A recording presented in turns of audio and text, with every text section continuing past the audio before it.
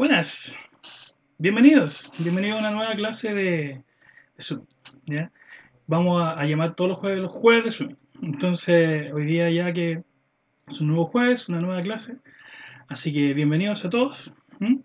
Eh, espero que, bueno, llegado harto, harto correo y harta eh, preguntas de la clase pasada. Muchas personas les gustó harto, así que, eh, qué bueno, porque la idea es precisamente que ustedes sean capaces de poder eh, disfrutar de todas estas cosas.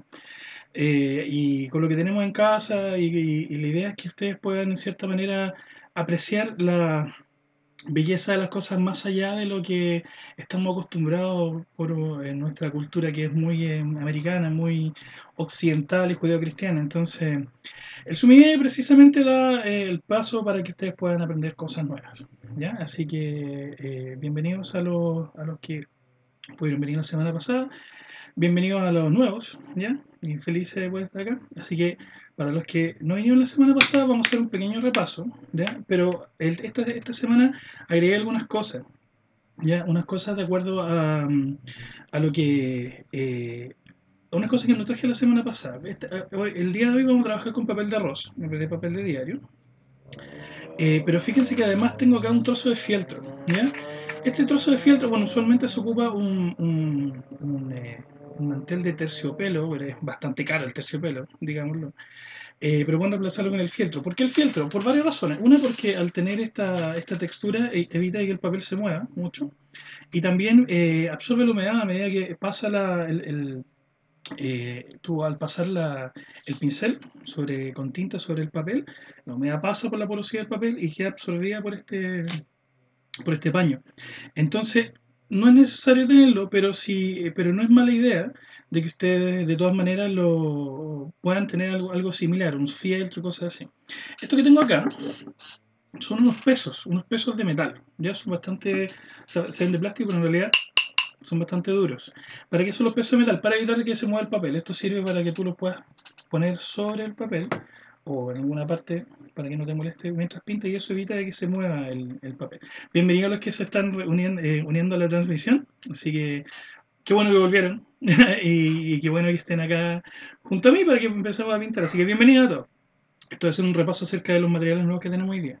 Ahora, no es necesario de repente tener estos pesos. Estos pesos fueron comprados en Japón en una librería que se encarga de, de precisamente tener este tipo de materiales. Una amiga que andaba ahí en Japón aprovechó y se los pedí y los trajo. Pero no es necesario, o sea, un saludo para Temuco que están ahí eh, mandando saludos de vuelta. No es necesario que tengan pesos de fierro como esto oficial o cosas así, pero perfectamente pueden hacer alguna cosa que le haga el peso. Yo antes, durante mucho tiempo, ocupé estos cosos, no sé si que son como los típicos cosos así como de que encuentras en, la, en las tiendas chinas, este es una, rana, si se fijan. Es un adorno, y este adorno me servía perfectamente para poder afirmar el papel con dos ranitas, que me costaron una luca. ¿Me entiendes? Entonces, en la medida que esta cuestión les sirva para poder mantener bien firme el papel, no hay ningún problema. O sea, no es necesario que tengan estos fierros, ¿ya? Pero es- están. Otra de las preguntas que me llegaron durante la semana fue respecto al susuri. Esta piedra que está acá, el susuri, es un poco difícil de conseguir a menos que tenga necesariamente una, una ¿cómo se llama? Mm, un, un set para pintar, ¿ya? Entonces, eh, pueden quizás adquirirla vía Amazon o quizá... No, Amazon no, prefiero que no compren en Amazon. En ese caso por eBay, que es más de persona a persona. Por eBay la pueden conseguir. Pero en el caso de que no la puedan conseguir, pueden reemplazarlo con esto. Estos cuencos de greda, que muchos de ustedes tienen, bueno, este es un poco grande, incluso puede ser uno más chiquitito, eso es como de pebre. Fíjate que estos cuencos de greda tienen la rugosidad necesaria como para que tú después puedas ocupar una barra de tinta y rasparla, y después se va a acumular aquí al medio para poder trabajar, ¿entiendes? Entonces, en el caso de que no tengan de estos susuri, ¿ya? Pueden reemplazarlo perfectamente con un cuenco de greda, no hay ningún problema. Si el caso es que pueda tener un lugar donde puedan raspar y que se pueda acumular la tinta, ¿ya? Entonces les va a servir igual. Así que por si acaso, por si lo quieren tener en consideración. A ver, repaso de la semana pasada. La semana pasada hablamos acerca de unos ejercicios básicos, de unas, unas pinceladas básicas que servían para poder después nosotros poder hacer un bambú. Perdón, vamos a recordar un poco esas pinceladas básicas. Si vemos como lo que vimos la semana pasada, era algo como esto, una pincelada que era seca, si, si recuerdan, que permitía, vamos a poner esto acá, hacer como las paras del bambú. Ahora, por ahí me preguntaron cómo poder hacer una, una, un- un- una rama de bambú más pequeña o más delgada, que esté más de fondo con el mismo pincel. Súper buena pregunta. Esta cuestión se puede hacer de la siguiente manera. Tú con el mismo pincel, que lo llenas con la tinta y le quitas un poco para que quede seco, en vez de ponerlo del lado, o sea, lo pones de lado, pero en vez de ponerlo de esta forma recto a la hoja, le pones en ángulo. Fíjate que cada vez que angulas el- el- el pincel, se va reduciendo como el tamaño de lo que vas haciendo y lo sigue haciendo de línea recta. Entonces, si pones un ángulo, por ejemplo, no sé, pues, de uno, de uno, estos deben ser como unos 60 grados, y haces lo mismo, queda más delgado. ¿Te das cuenta, no? Entonces podías hacer exactamente lo mismo con el mismo pincel, angulándolo. Entonces puedes tener distintos tamaños, ¿ya? De, de, de, de, tronco en este caso. Entonces, por eso les explicaba, saludos, saludos a los que vienen recién llegando, por eso les explicaba la semana pasada que con que tengan un solo pincel es suficiente para poder empezar a pintar, ¿ya? Con un pincel grande tienen versatilidad para hacer hartas cosas. Obviamente, mientras tengan más pinceles de aquí en adelante, van a poder tener más, más herramientas para poder hacer cosas, pero no es estrictamente necesario. ¿Ya? Eh, ahora, eh, ah, mira, por ahí me pregunta así cómo tomar el pincel. Eh, el pincel, eso va a depender mucho del tipo de trazo que tú vas a hacer. Porque cuando tú, por ejemplo, si lo tomas desde muy, desde muy, de muy cerca de, de- de- de- de donde está la cerda, ¿ya? Para hacer trazos largos, te va la misma muñeca te va a molestar. ¿ya? Entonces la idea es que tú puedas tomarlo más o menos desde la mitad para poder hacer estos trazos. Ahí no va a tener problema. ¿Para qué te sirve tomarlo de cerca? Para hacer detalles. ¿Cómo hacer los detalles? Apoyas con la mano y con este dedo, a ver, no se alcanza a ver en la, en la cámara, a ver si se frío. Con este dedo, tú apoyas acá el- en el papel y te permite mover con mucho detalle para poder hacer detalles específicos. ¿Ya? Entonces va a depender de lo que tú quieras hacer, no necesariamente eh, el tomarlo, pero usualmente se toma el pincel como de la mitad del pincel. ¿ya? Incluso es más para caligrafía, algunas personas lo toman desde arriba. La caligrafía sí es, es- es más compleja, es más rígida. Tú tienes que como que poner la mano acá y ponerte con esta forma y mover solamente el brazo y es bien, es bien especial. Me gusta, eh, tuve un tiempo estudiando eh, caligrafía eh, con el profesor eh, eh, eh, Kojima en el Instituto Cultural Chileno Japonés y es estricto el profesor Kojima, me corregía todo. Así que si tienen alguna, alguna, alguna vez la oportunidad de poder aprender caligrafía, les va a servir de inmediato para es súper buena opción. Entonces, esto fue una de las cosas que vimos la semana pasada, si recuerdan. ¿ya? ¿Qué otra cosa vimos? Vimos cómo hacer una rama, ¿se acuerdan? La rama era muy, era como buscar lo, lo- la parte donde están los nudos y sacar algunas pequeñas ramificaciones de manera vectorial. ¿Se acuerdan? Etcétera. Y lo otro que habíamos visto era cómo hacer hojas, que eran presiones. Voy a darle un poquitito más de humedad a mi pincel para que quede un poquitito más, más con mejor detalle. Recuerden que era presión, arrastrar, presión, arrastrar, presionar, arrastrar, presionar, arrastrar. Ese era como el ejercicio que vimos la semana pasada, ¿recuerdan? Presionar, arrastrar, presionar, arrastrar. Presión, arrastrar, presión, arrastrar, presión, arrastrar, presión, arrastrar, etc. Ahora, lo que vimos la semana pasada fue solamente un ejercicio, ¿ya? Esto es un ejercicio. Si se fijan, el, el- el- el- bambú está bastante eh, como estático, es como estándar, ya no es como tan expresivo. Y estamos hablando que, estamos viendo que es un- el, bambú, el bambú es un árbol, un árbol que tiene vida, es un árbol que representa una, una- una época de la naturaleza específica. De hecho, lo que representa en este caso es el verano. Hay toda una filosofía detrás de lo que es el bambú. Eh, tiene que ver mucho con... Eh, permiso, voy a hacer otro papel. Tiene que ver mucho con lo que, con lo que los monjes, el significado que le dan los monjes al, verano y al bambú en general. El bambú en este caso te representa a ti mismo, ¿ya? Y de cómo tú eres capaz de poder eh, eh, adaptarte a las circunstancias. El bambú es súper flexible, ¿ya? Eh, de hecho, súper versátil. Si ustedes se dan cuenta, el bambú se ocupa en Asia, pero un montón de cosas, o sea, desde hacer instrumentos musicales hasta hacer andamios para poder eh, construir cosas, porque es muy resistente, muy versátil, sirve para muchas cuestiones. Pero el bambú es bien especial. Resulta que el bambú cuando crece, cre- eh, se demora mucho tiempo en crecer, o sea, se demora alrededor de 7 u 8 años antes de que salga algún brote siquiera. O sea, ni siquiera. Muchas personas piensan que la cuestión definitivamente no creció, o sea, porque la cuestión no da brote durante 8 años, 7 años. Pero una vez que brota, se demora 5 o 6 meses en alcanzar 2 metros. Así, crece muy rápido. Y no tiene una razón, porque lo que pasa es que el bambú eh, pasa durante mucho tiempo eh, construyendo raíces bajo la tierra.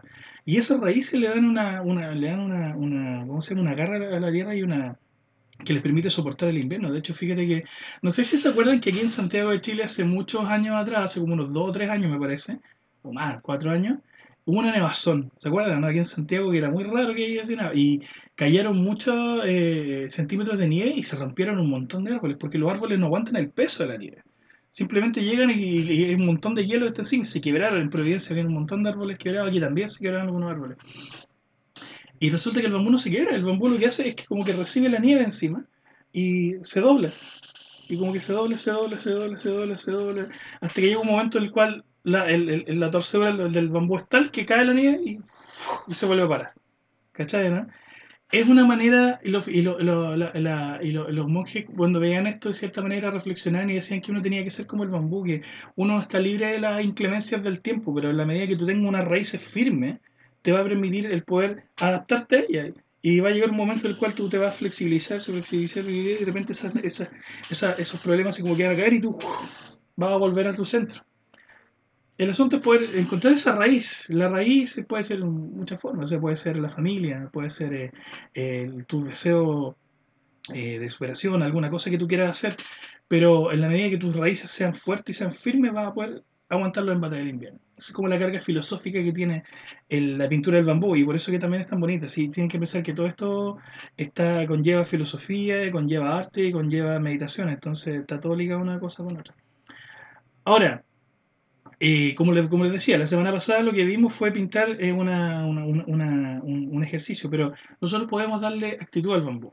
Podemos hacer que sea eh, embestido por los embates del tiempo. Podemos hacer un bambú, por ejemplo, que, que le caiga lluvia. ¿ya? Podemos hacer un bambú que sea azotado por el viento. Pero ¿cómo lo hacemos? Porque la pregunta es ¿cómo tú pintas agua? ¿Cómo tú pintas viento? El viento no se ve, el viento se siente. Y el agua no tiene forma, el agua la- obtiene la forma de- del, del lugar donde está, donde está contenida. Esa es la forma que tiene el agua.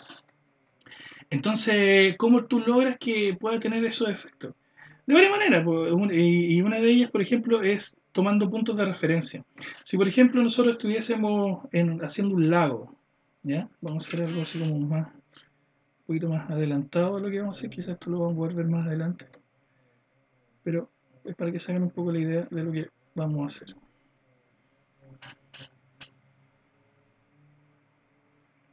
Tenemos un bote, un bote que está en, un- en una laguna.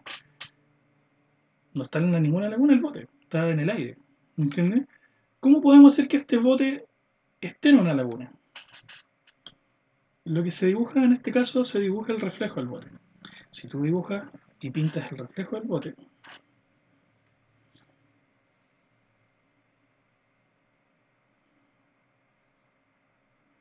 ¿ya? Se deduce que hay agua sin que tú tengas que pintar el agua. ¿Me entiendes? Entonces, toda esta cuestión tiene que ver un poco, porque aquí lo que hice fue hacer una distorsión, hacer como las ondas. Entonces, este mismo reflejo y la sombra del, del, bote reflejada en el agua, tú da el efecto de que estuviese en el agua, pero en realidad lo que estás jugando son con los constructos de la, de, la idea que tú tienes en el bote. el bote tiene proa, tiene popa, tiene maderas que lo, lo sostienen, tienen un, un mástil donde tú puedes colgar una vela. Esas son partes súper reconocibles del bote. Y este espacio que quedó entre el reflejo y, el trazo te da a entender de que tiene una forma también. ¿Me entiendes? Entonces, al final del día, todo el, trabajo de la pintura sommelier es una- un trabajo que también va de la mano de la persona que está mirando. La persona que mira complementa la pintura. Tú das unos elementos y tú cuando estás mirando dices, ah, esto debe ser esto. ¿Me entendí? Entonces se genera como una, es una, una cuestión que se hace de dos personas. ¿Cachai? no? Entonces en este caso lo que hice fue hacer el agua. Pero que como se hizo el agua, se hace el reflejo. Entonces en este caso, si vamos a trabajar con el bambú, ¿ya? ¿Cómo hacemos que el bambú tenga agua? ¿Cómo hacemos un bambú que llueva?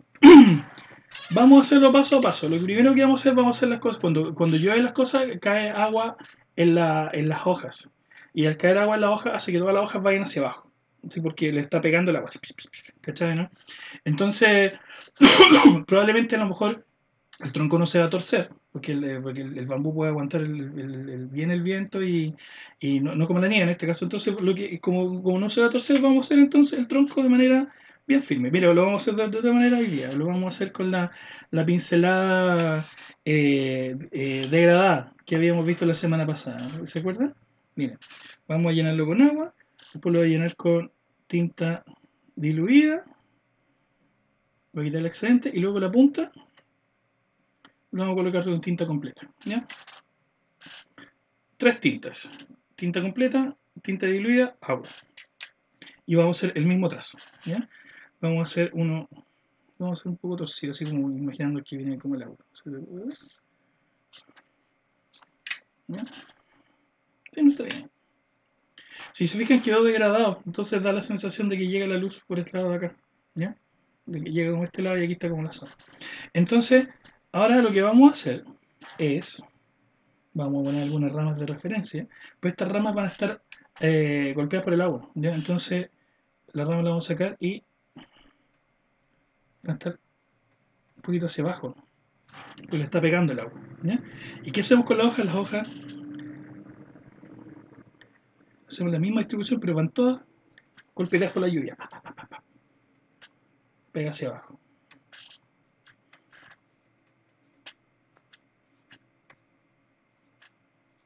A hacer unas de aquí arriba también que, vengan en alguna parte.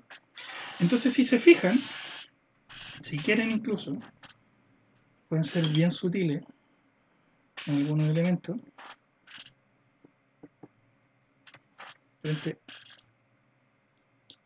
Pegarle unos, unos golpes para que queden unos salpicones.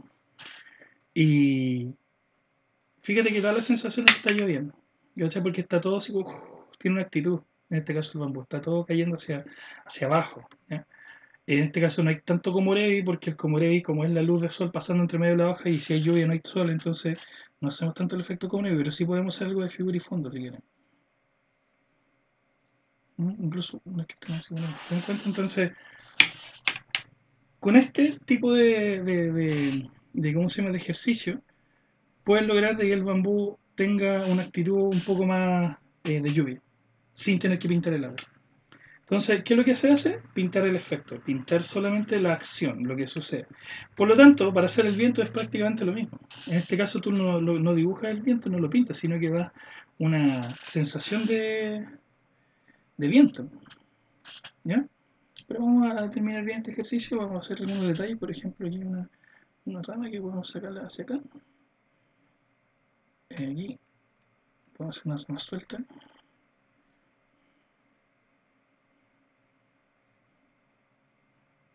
siempre afecta por la lluvia ¿se dan cuenta? y con eso puedes lograr un ejercicio ya un poco más expresivo ya un ejercicio que tiene que ver más con la con aplicando lo mismo que vimos la semana pasada, pero ya con una actitud. Estás hablando de lluvia, estás hablando de un tiempo específico, quieres evocar una sensación, ¿entiendes? Y lo complementas con lo que está sucediendo. Es una súper buena forma de poder partir. no sé si tiene alguna pregunta al respecto. Si le tiene alguna pregunta, pueden hacerla por el chat de. Tengo que apuntar por el otro lado, por acá, por el chat. bueno, si lo hago con esta mano, por la cámara, ahí sí. Bueno, por el ya, vamos a hacer otro ejercicio entonces. ¿Qué otra cosa podría eh, afectar al bambú? Eh, podría afectarlo, eh, por ejemplo, la, el viento. El viento podría afectar el movimiento del bambú. Ahora se nos presenta un problema. Porque si se fijan, el movimiento de la hoja, ya la hoja es bastante firme, la del bambú. Si tú la haces a favor del viento no hay ningún problema porque tú simplemente pintas la hoja a favor del viento, moviéndose hacia un lado. ¿ya? El problema radica cuando tú quieres hacer las hojas que van en contra del viento, ¿ya? Porque la hoja no se va, no se va a torcer así como de lado, porque es como si, a ver, déjame darle un, ejemplo. Imaginémonos que esto, a ver, imaginémonos que esto es la hoja de bambú, ¿ya?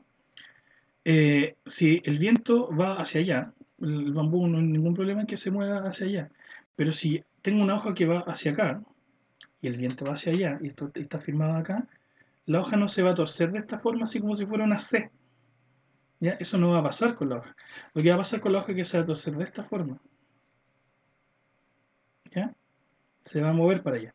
Entonces, ¿cómo tú das el efecto de que la hoja se mueve con el sol? O sea, con el viento. Se puede lograr de una manera bien simple. Eh, vamos a volver a hacer un bambú.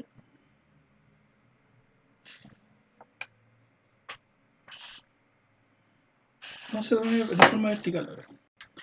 Oigan, la semana pasada eh, varias personas me preguntaron respecto a, si eran necesarias como donaciones y cosas así para el canal. Y no había pensado, pero sabéis que creo que es una re buena idea porque eso de repente permite que podamos tener cosas mejores, así como un micrófono. porque ahora tengo el micrófono el computador, entonces no sé si se escucha muy bien. Eh, pero yo creo que en la medida de que si, si eh, no es ningún tipo de obligación, pero si lo desean, hay una URL ahí abajo que es un PayPal, paypal.me slash cangrejoman. Pueden hacer eh, donaciones si, si, si, lo quieren hacer. Todas esas donaciones van a ir para el canal, o sea, lo vamos a ocupar en comprar materiales, lo vamos a ocupar en, comprar eh, eh, tinta, en comprar micrófonos y cosas mejores para, poder, para que esta cuestión sea mucho, mucho mejor. Así que si lo desean, pueden meterse a PayPal, no hay ningún problema. Aunque obviamente no hay ningún tipo de obligación, si estas clases son para ustedes. Así que pero es para que, es para que sepa, está abierto, así que no hay ninguna. Ahora miren, vamos a...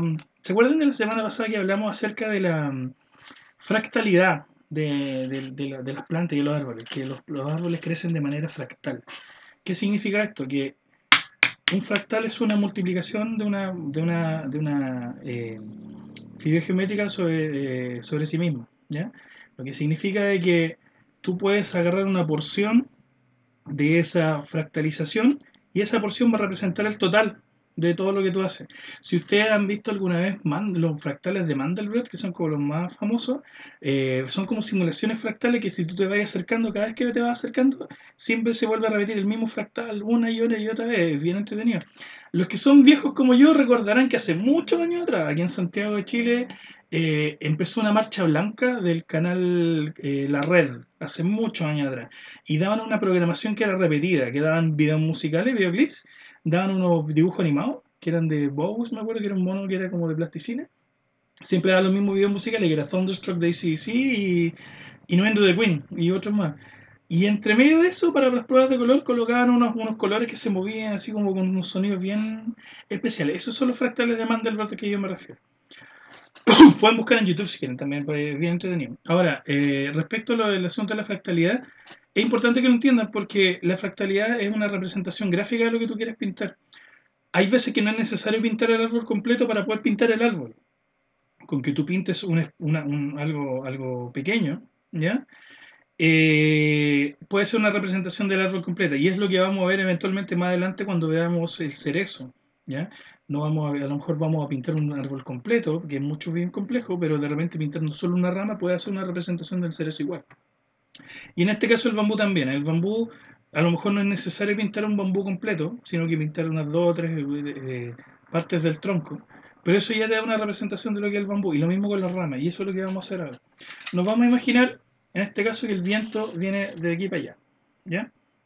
Entonces, ¿Cómo lo hacemos? Primero vamos a hacer las ramas donde vamos a estar, va a estar sostenida nuestra, nuestras hojas, ya que es donde vamos a representar bien el, el bambú. Y vamos a partir con una rama y esta rama la vamos a torcer levemente hacia el favor del viento. Vamos a sacar algunas ramas de manera fractal. Dos, tres. Creo una parte sería por acá. Fíjense que está hacia allá porque está siendo movida por el viento. Entonces, en las hojas del bambú, acuérdense que crecen de esta forma. Una, dos, tres, después cuatro y después cinco, así como que crecen tú, tú, tú, alternadas. Entonces las que están a favor del viento las hago primero. Eso voy a hacer. Entonces voy a hacer, esta está a favor del viento, así que la vamos a representar. Voy a hacer un poco más el pincel para poder tener mayor flexibilidad para poder hacer este, este ejercicio. ¿Ya? siempre que quieran eh, obtener así como que su pincel quede bien en punta, eh, quítenle el exceso de, de, ¿cómo se llama?, de tinta en el susuri en donde estén sacando tinta y van girando el pincel, entonces con eso logran que quede bien en puntita, para tener mejor detalle y cosas así. Entonces, vamos a hacer todo lo que estén a favor del viento.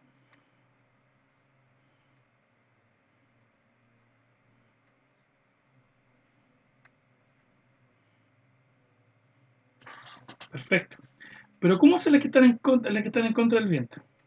Aquí hay un, truco. En este caso lo que vamos a hacer es hacer la mitad de esa pincelada hacia una parte y vamos a tratar de que la otra mitad la hagamos torcida siguiendo la línea del, viento para que parezca que fuera una hoja, no que estuviera cortada.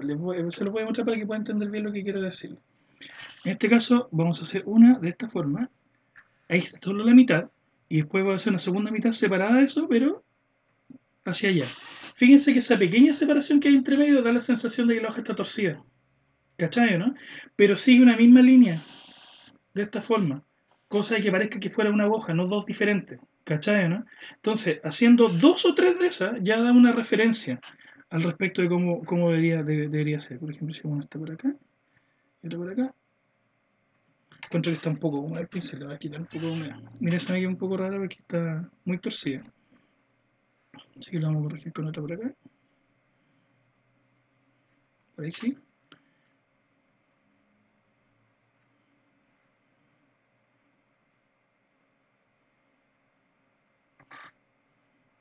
¿Cachai?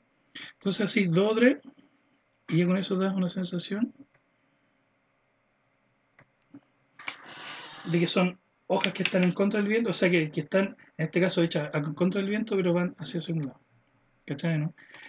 Eh, no pinta viento, si se fijan, pero te da la sensación de viento, porque están, están eh, dirigiendo el movimiento de las hojas. ¿Cachai? No?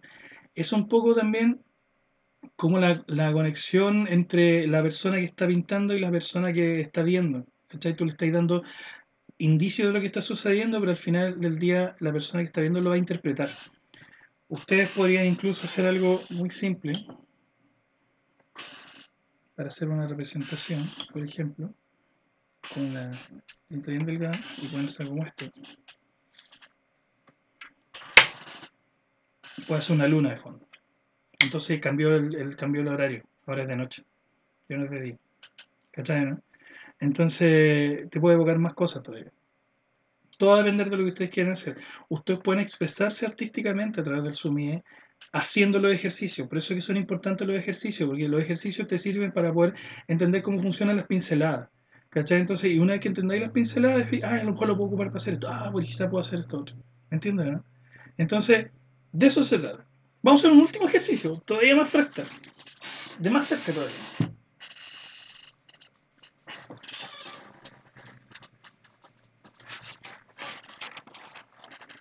que saqué dos hojas, ¿eh? Exactamente. Mira. No se me mancha. No importa. Fíjense. Voy a coger un pincel un poco más grande ahora. Cáchate este guatón que tengo acá. Este verde. Lo voy a hacer bien. ¿Por qué voy a jugar este más grande? Porque voy a hacer una, algo más fractal, como un súper acercamiento en este caso.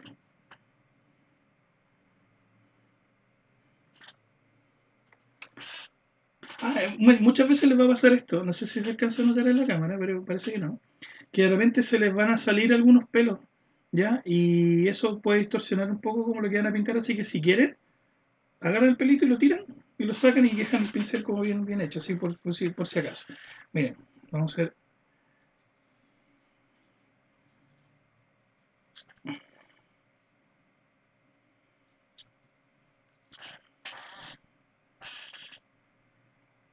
Bien, fíjense que al hacerlo el pincel quedó como torcido. Al quedar torcido me sirve para poder tener, eh, poder hacer un poco de detalle. Entonces puedo hacer como esto.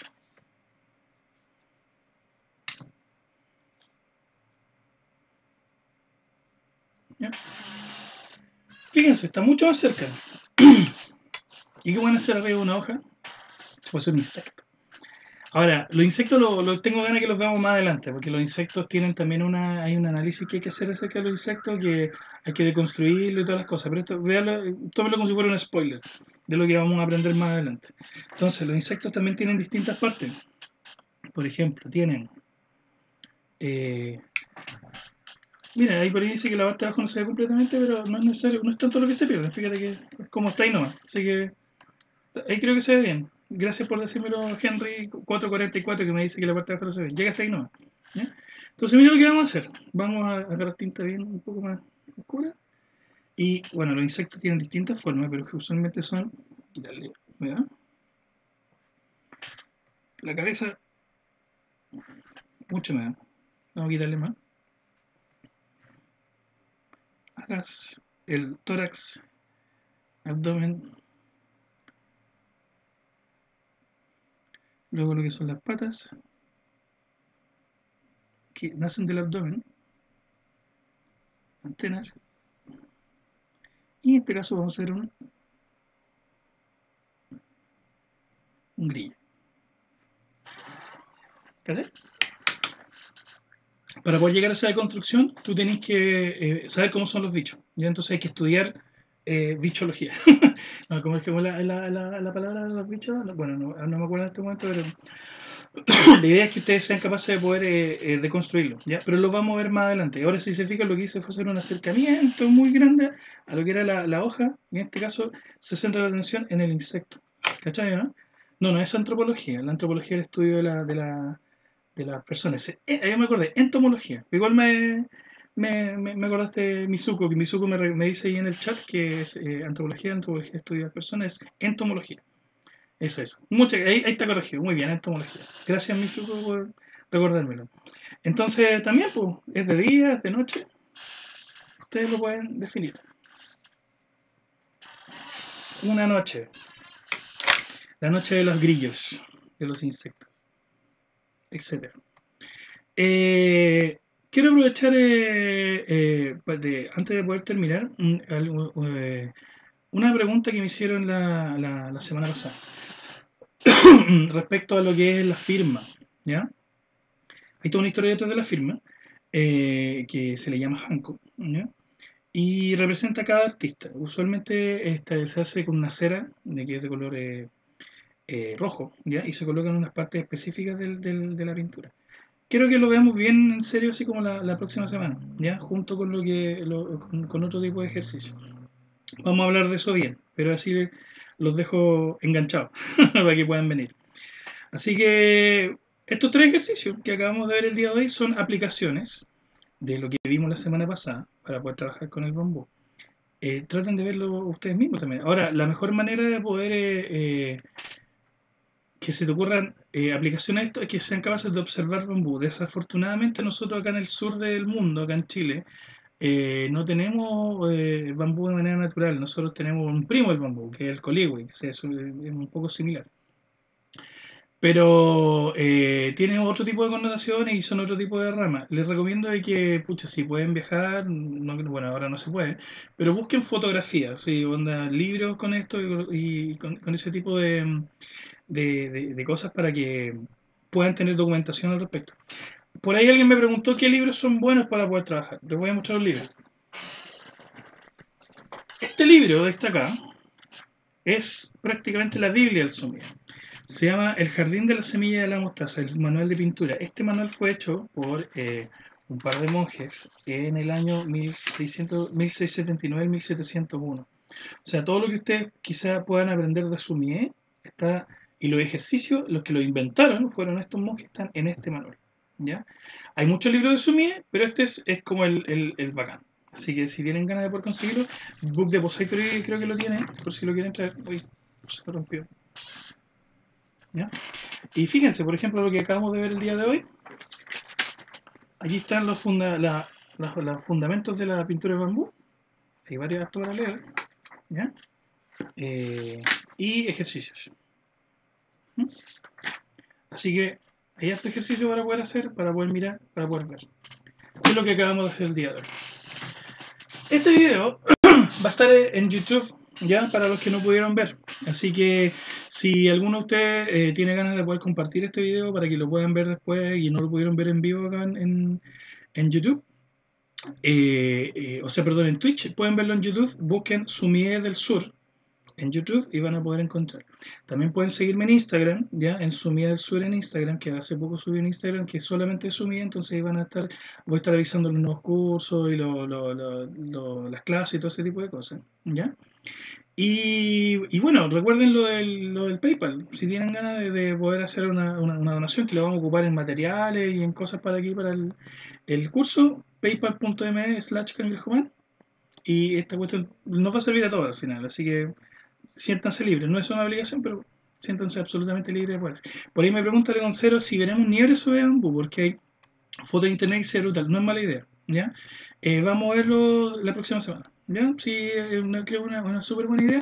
Nosotros no estamos muy acostumbrados a la nieve porque nosotros vivimos en un país donde no hay nieve, entonces va a ser un poco difícil entender cómo funciona la nieve y cómo se, cómo se da a entender, pero perfectamente lo podemos ver la próxima semana, así que no hay ningún problema. Eh, sí me gustaría verlo, que lo veamos la próxima semana con nieve y creo y vamos a empezar con un nuevo ejercicio. Vamos a pasar a lo que es el otoño, ¿ya? Así que los dejo invitados para la próxima semana para que veamos crisantemos. ¿ya? Vamos a ver esto de la nieve que preguntó aquí Ale Gonzalo recién por, eh, por el chat. Y vamos a empezar a ver el crisantemo. Así que los dejo súper invitados. Gracias a Lorny que está poniendo el link al canal de YouTube y en el chat de Twitch. Y nos vemos la próxima semana. Siempre es un placer estar con ustedes. Cuídense mucho.